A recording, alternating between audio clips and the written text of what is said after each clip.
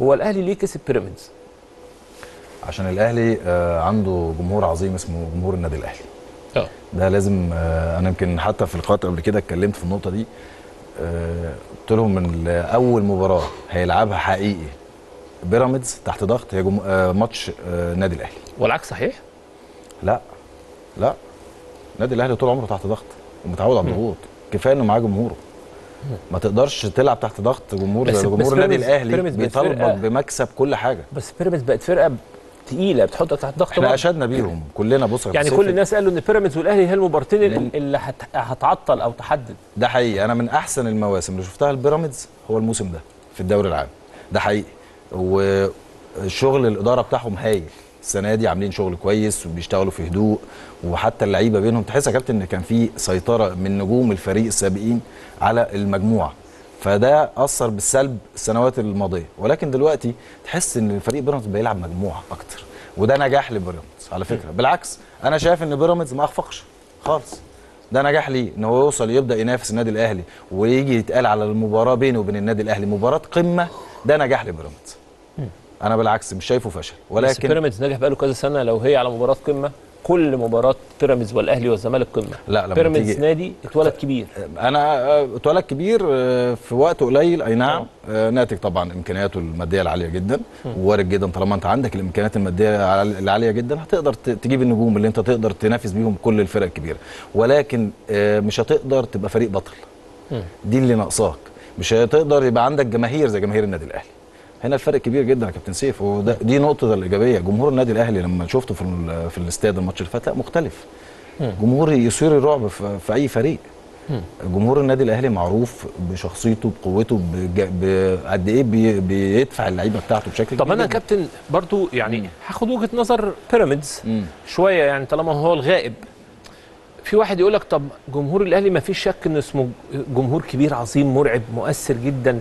آه، آه، النجم رقم واحد. تمام. فيش كلام. ولكن في المباراة دي بالذات نادي بيراميدز نجح إن يعمل ريمونتادا ويرجع بهدفين ويتقدم 2-1 عن النادي الأهلي. تمام. بص يا كابتن سيف أنت لو بصيت لإحصائيات المباراة هي الكرة الوحيدة اللي عملها الكارتي لفيستون مايلي ال through pass الهايل اللي اتعمل. آه، وكرة عدم تمركز من المدافعين بتاعه النادي الأهلي هي اللي أسفرت عن الجول. والكرة الثانية ال corner اللي اتعمل.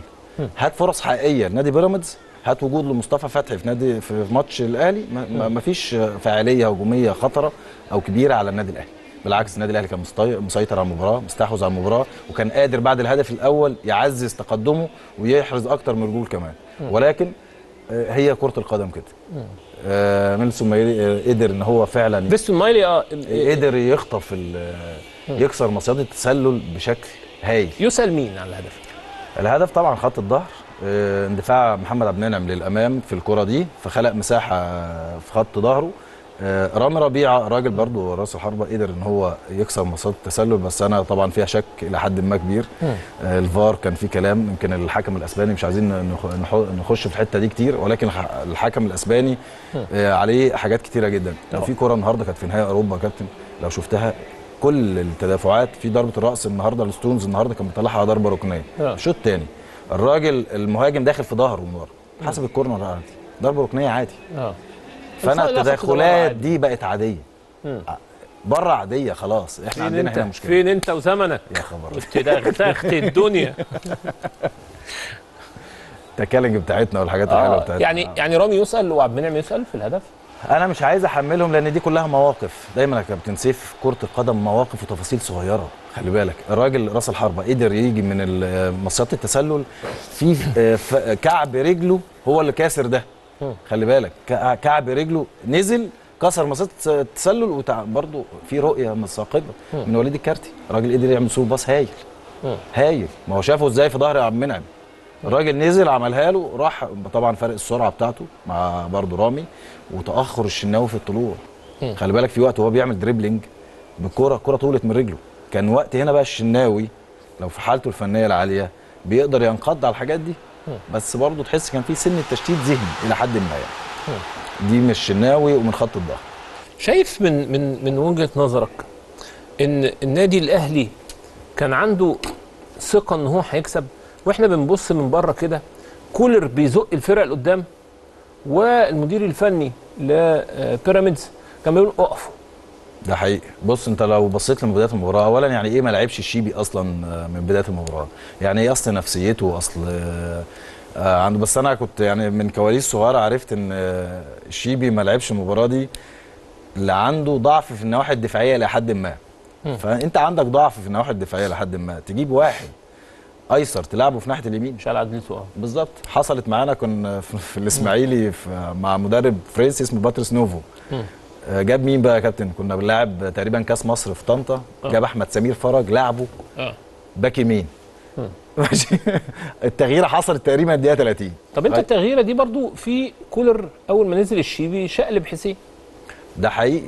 ودع حسين يا كابتن. بص بقى هنا الشخصية. مم. خلي بالك الشيبي آه صنع جون. خلاص طبعا حسين نجم المباراة من لا بدايتها يعني الاثنين فكروا زي بعض. يعني يعني المدير, المدير الفني لبيراميدز قال لك لا يعني ما احطش الشيبي برضه عشان ما احطوش في ضغط نفسي.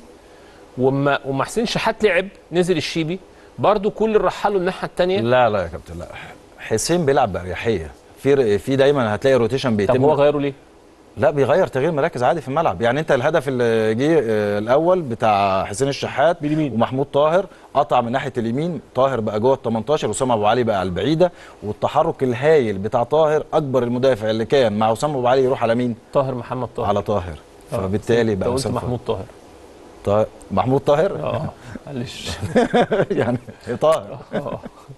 فطبعا ادى مساحه أحسن لوسام أبو علي يقدر يسجل الهدف الرائع الملعوب. وبعدين بقى بص الكثافة الهجومية بتاعت النادي الأهلي الضغط الهجومي وبعدها واحدة لوسام أبو علي يحطها بر- pressing فوق العارضة. كل دي كور هايلة اتعملت من النادي الأهلي ضغط عالي دايما من النادي الأهلي استخلاص كورة استحواذ دائم حتى بعد الهدف. الأهلي لم يتراجع بعد الهدف يا كابتن سيف.